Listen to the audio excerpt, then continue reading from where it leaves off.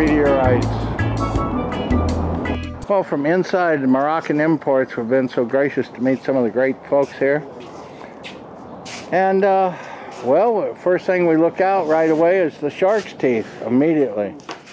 So they're down here on Main as part of the Main Mineral and Fossil Show.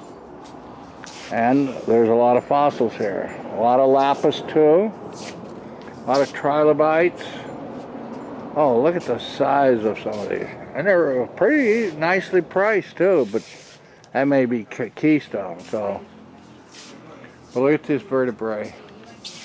All here from Morocco. Now these may or may all, but I'm pretty sure that these are all from Morocco themselves. So, KRAZ-TV with the mask on, showing shells, teeth, animals, invertebrates, and meteorites. Feel this. These are amazing.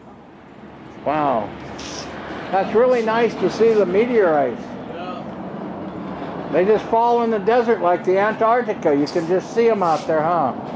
Easier. Yeah, but a little easier, yeah. oh, wow. Look at some of these leg bones.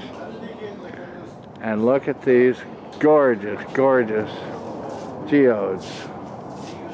Pieces, amethyst. KRAZ TV here at Moroccan Imports, Inc. They're across the street from Madagascar now. Wow, okay, so this is NWA, the Society of, uh, what's it called? Um, of meteorites and stuff that catalog it and all that. Look at some of the features on that. No wonder it costs, it costs probably a year to clean that up show all their little pieces and stuff and their appendages. This is a rare show and we're happy to have them here in April, of course. It's a delayed and abbreviated show, but you know, from next year, they're really going to be going. So here's a large table with a couple of inserts of different fossils. And that is Moroccan Imports, Inc.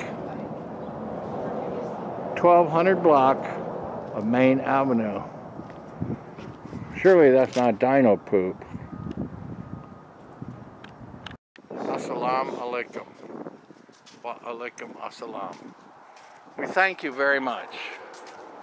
Well, this is their little warehouse. We'll be right back, so we'll go visit Superb in a little while.